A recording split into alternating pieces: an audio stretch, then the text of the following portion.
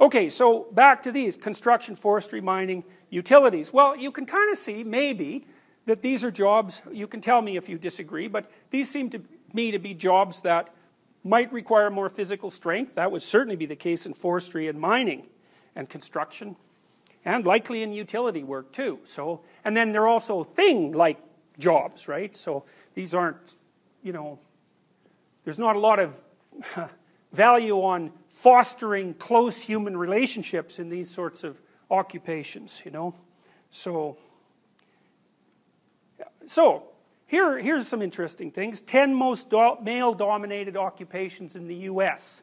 So I guess one of the things that you might ask yourself is, um, do, would you be interested in a job like this? So hypothetically, men are more interested in jobs like this than women. Brick mason, block mason, stone mason, so, you know, carving up stone. Cement masons, electrical power line installers and repairers. That's a tough job, eh? It'd be very hard to do that. Like during the ice storm, that'd be a hard job. Carpet, floor, and tile installers, heating, air conditioning, refrigeration mechanics, structure, iron, and rebar workers, bus and truck mechanics and diesel engine specialists, miscellaneous vehicle and mobile equipment mechanics, tool and die makers, and roofers. So, and those are overwhelmingly male, right? If you look on the right hand column there, there isn't even 1% of the, the total number of, of women in those occupations isn't even 1%. You know, it's funny, you don't, you don't hear a lot of like gender affirmative action calls for structure, iron, and rebar worker gender equality. So, which, well, I think that's interesting, you know, if it's, if it's merely a matter of gender inequality, then why does it differ, what, what difference does it make what the category of employment is? That sort of argument shouldn't be reserved for only the upper echelons and the most desirable jobs. You know, otherwise, that's not a coherent argument. It either applies across the spectrum of jobs or it's incoherent. Those are the alternatives. So here's the 10 most female dominated occupations in the US. It's still secretaries and administrative assistants. Now, you know, that was the most common female job in the 1950s, and it is still overwhelmingly the most common female job. So that's quite interesting, and uh, although it's incredibly dominated by women.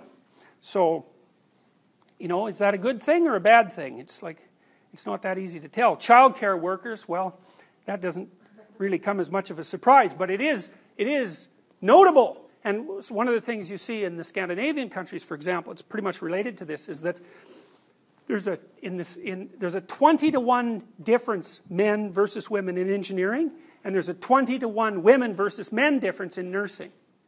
So, and it's, the Scandinavian governments every now and then go through a fit of, of enthusiasm about attracting more women into engineering, and so they, you know, crank up their social engineering and their and their information about how desirable a profession that is, and then the proportion of women who go into engineering rises slightly, not very much, and then as soon as they stop, you know, pushing it hard, it just drops right back down to 5%.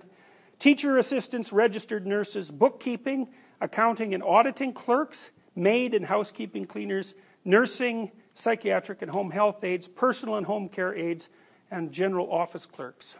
So that's where the bulk of women are in the that's where the bulk of the female dominated occupations are. So, let's see now, did I cover all those things? Yeah, I did. So, here's, I've been trying to figure this out for a long time, like what this agreeableness thing is, and, and this is sort of what I've concluded. Because um, I'm always interested in tying this down to the biology, and Jaak Panksepp, who's a very good neuroscientist, has identified a number of fundamental biological emotional systems, um, some of which we've alluded to already, and some of which we really haven't. So, for example, it was Panksepp who identified the existence of a play system um, for engaging, for example, in, in rough and tumble play, and that seems to be something that males prefer more than females prefer. But he's also identified a care system, and you could think about that as the basic. It, it, there has to be a care system. I mean, for God's sake, we're mammals, right? I mean, the definition of a a mammal is, well, first, the mammal is warm blooded and has hair, but the next part of it is that the mammal is fed breast milk. And so, obviously, there's a dependent relationship there. And it's not only a, like, it's a dependent relationship, and it's a difficult dependent relationship. You know, like, children are very um, not able to care for themselves for a very long period of time. There has to be, well, it's foolish to even argue otherwise. People fall in love with their baby, babies to a staggering degree, and the typical response of new parents is, well, I never knew it would be like this, because even if you're not interested in someone else's baby, you tend to be unbelievably interested in your own baby. And that's a good thing, because they're a lot of trouble.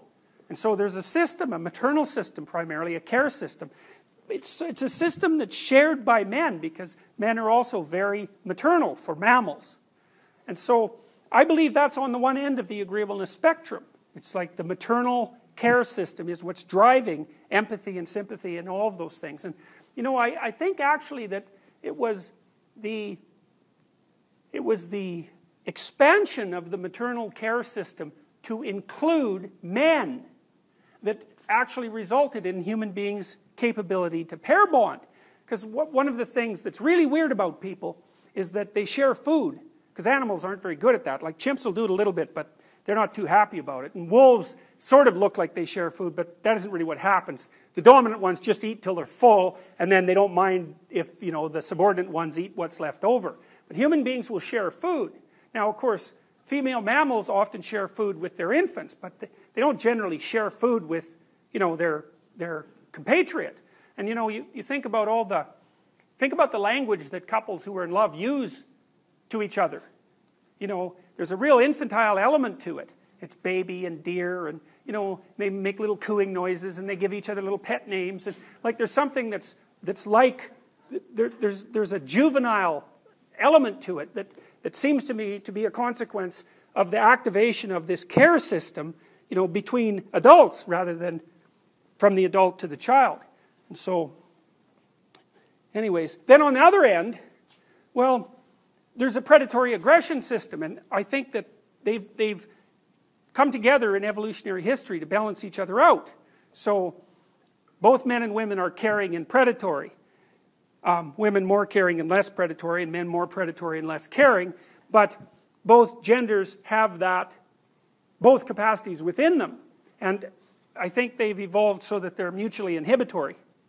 So that a predatory male is not that likely to kill infants, whereas, and, and fairly likely to care for them. Now, there are exceptions to this, you know, and, and they're not trivial. So, for example, stepchildren are much more likely to be killed, especially if they're under two you are at 100 times more risk for abuse from a step parent than you are from a natural parent.